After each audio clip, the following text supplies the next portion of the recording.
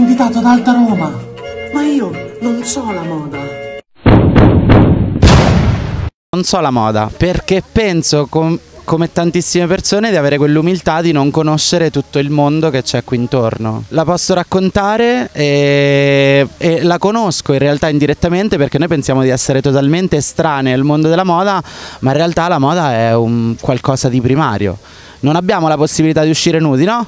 E quindi la moda ci deve vestire, la moda è un bisogno primario, quindi posso raccontarla, mi sento in dovere di poterla raccontare. Il vestito non è per forza qualcosa d'acquisto compulsivo e è quello che sta appunto nella nostra sfera più intima, no? a contatto con la pelle. E quindi è la seconda pelle e è quella che può anche farci cambiare, quindi in realtà ha un aspetto eh, sociale pazzesco, perché io semplicemente vestendomi posso diventare quello che non sono completamente, posso convincermi di essere altro da me piano piano somigliare a quell'immagine che ho. E questa è una cosa che a me affascina molto, quindi è come se fosse una seconda possibilità che noi abbiamo tutte le mattine potendo indossare qualcosa che ci rispecchia o che non ci rispecchia, che ci fa somigliare a quello che desideriamo essere.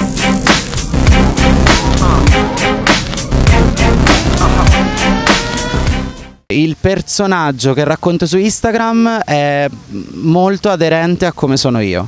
Semplicemente la realtà raccontata su Instagram è una telecamera che si accende solo in determinati momenti della giornata, quindi uno va a prendere gli highlights di quella giornata, però in realtà è molto inerente, soprattutto la comunicazione social, eh, nonostante il pensiero è che sia qualcosa di totalmente fasullo, ma se parliamo di Instagram, Instagram è istantaneo e non è facile essere fasulli H24. Quindi in realtà più è inerente, più ti somiglia anche questo e più riesci a farlo con grande efficacia. A me piace raccontare tutto quello che vedo con gli occhi di un bambino, quindi appunto non so la moda ma andiamola a scoprire. E una cosa che mi piace tantissimo della moda è che questo mondo che sembra totalmente distante da noi, in realtà è fatto di arte, artigianalità, di materia, materiali, tessuti, che hanno tutti dei nomi che io assolutamente non conosco tra l'altro, non capisco niente di quello. Quindi vado a vedere e sono molto molto affascinato perché poi eh, è bello vedere le persone. Cioè, una delle mie cose preferite è quando esce lo stilista. Che quindi prima ti sei uscite queste 20 modelle arroganti che non, non, guardano niente, non so come fanno a camminare dritte, non inciampare in qualcosa.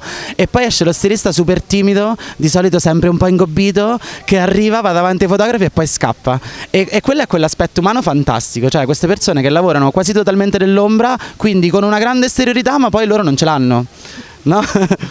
fanno queste cose pazzesche, ti partono queste basi d'amarre, lo stilista va piccolissima che esce fa ciao e va via.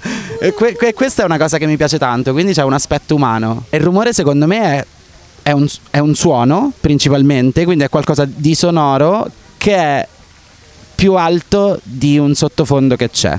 È qualcosa, un guizzo che è un picco in un diagramma quello secondo me può essere considerato rumore, quindi non è per forza un, uh, qualcosa di fastidioso, è qualcosa che ti attira l'attenzione, è un, uh, un, non lo so, un richiamo.